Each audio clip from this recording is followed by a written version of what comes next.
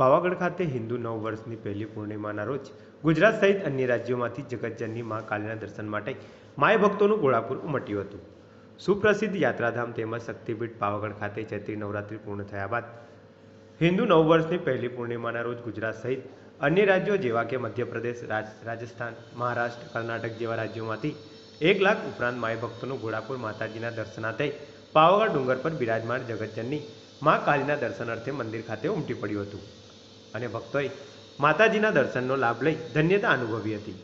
શક્તિપીઠ પાવાગઢ ખાતે બિરાજમાન જગતજનની મા કાલીના દર્શનનો માય ભક્તોમાં વિશેષ મહિમા હોય છે. જ્યારે પૂનમના રોજ પણ ભક્તો માતાજીના દર્શન કરવા વિશેષ આવતા હોય છે. જેમાં આ સમયગાળા દરમિયાન ગુજરાત સહિત અન્ય રાજ્યો જેવા કે મધ્યપ્રદેશ, રાજસ્થાન, મહારાષ્ટ્ર, કર્ણાટક જેવા રાજ્યોમાંથી માય ભક્તો માતાજીની આરાધના કરવા માટે આવતા હોય છે. હિન્દુ નવ વર્ષની પહેલી પૂર્ણિમા હોવાથી માતાજીના દર્શનનો લાભો લેવા માટે રાત્રિ દરમિયાન મંદિર પરિસર ખાતે માઈ ભક્તો પહોંચી ચૂક્યા હતા. ચૈત્રી નવરાત્રિ પૂર્ણ થયા બાદ પણ ચૈત્રી મહિનો ચાલતો હોય તેમજ બોર્ડની પરીક્ષાઓ પૂર્ણ થતાં હાલમાં રજાના દિવસો ચાલે છે, જેને લઈ લાખોની સંખ્યામાં માય ભક્તો પાવાગઢ માતાજીના દર્શનાર્થે આવી રહ્યા છે. ત્યારે પૂનમના દિવસે માતાજીના દર્શનનો ભક્તોમાં વિશેષ મહિમા હોય છે. તેમાં પણ ચૈત્રી પૂનમને લઈ પાવાગઢ ખાતે ભક્તોનો સૈલાબ જોવા મળ્યો.